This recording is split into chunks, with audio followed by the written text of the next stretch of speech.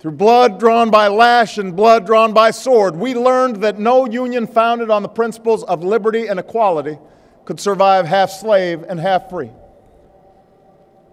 We made ourselves anew and vowed to move forward together. Together, we determined that a modern economy requires railroads and highways to speed travel and commerce, schools and colleges to train our workers. Together, we discovered that a free market only thrives when there are rules to ensure competition and fair play. Together, we resolved that a great nation must care for the vulnerable and protect its people from life's worst hazards and misfortune.